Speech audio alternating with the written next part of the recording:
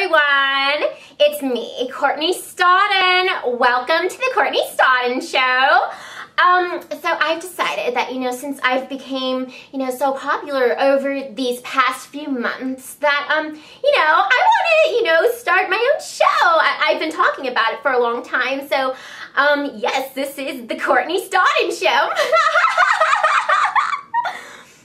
Okay, so um, basically what I want to do is um, I want you guys to, you know, ask me questions and you can ask me anything you want.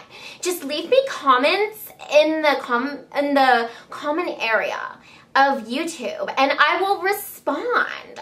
Um, I, I think, you know, since I've become very popular, you know, you know, I, am just more popular than ever, and I just want the world to know who Courtney Stodden is.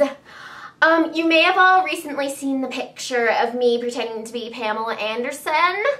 Um, I just want to know if you guys like that picture. You, um, I, I want to know if you guys like the bathing suit. I was wearing, um, I, I practically had my vagina hanging out, and um, I just want to know if that turned anyone on.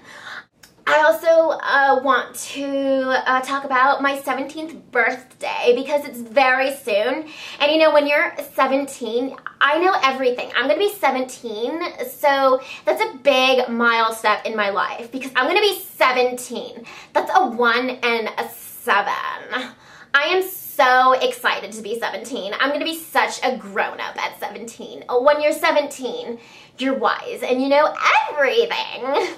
It's gonna be amazing. My 17th birthday, me and Doug, we're gonna go out and we're just gonna, we're, we're gonna have sex. And I mean, the things that I do to Doug are so naughty. Remember how I said he's a tiger in bed? Well, I am like, hmm, how should I put this?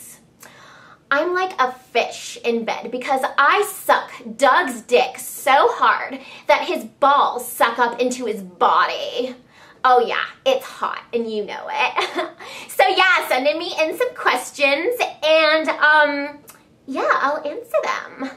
All right, so um, next week or the next time you see me, I'll be 17. I will no longer be 16, but I will be a 17 year old inspiring actress. I hope you like this video. And also, um, you should go to my Twitter at Courtney Stodden so you can see all my uh, very provocative sexual tweets. I hope it, I hope it gives you a heart on, you know, especially, you know, that I'm practically, well, I am jailbait. So, um, yeah, I hope that turns you on. Mm, yeah, baby.